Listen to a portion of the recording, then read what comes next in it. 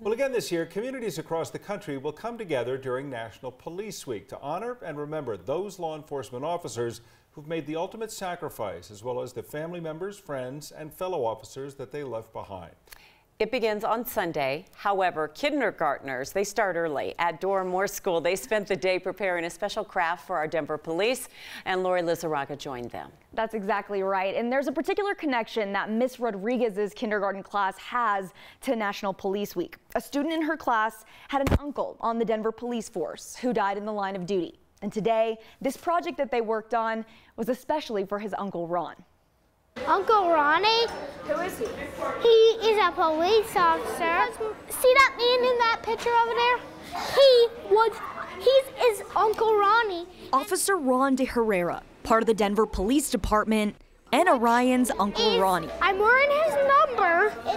Is 9639. In March of 97, De Herrera had just graduated from the Denver Police Academy. He was 32 when he went to heaven. A driver in a stolen vehicle ran a stop sign and hit De Herrera's patrol car. We saw him graduate from the police academy and we were burying him a week later. His little sister Christine and her son Orion use National Police Week as a time to honor Uncle Ronnie. And the police do a beautiful job of remembering their fallen heroes and they really make it special for the families and I thought that this would be a wonderful opportunity for us as a family to do something for them. Christine came up with the idea to work on a special project this year, but it was her son who volunteered his kindergarten class. We thought it would be really cool if they did it with their handprints. Dozens of little blue handprints, There will be 32 handprints and each one will be representing 32 years of Ron's life as he was 32 when he died. strung together for the Denver Police Department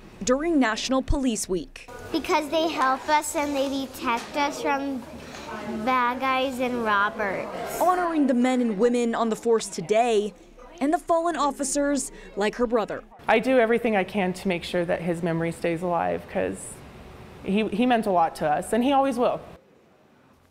And Mrs. Rodriguez's class will deliver their handprint project to the Denver Police Department on Monday.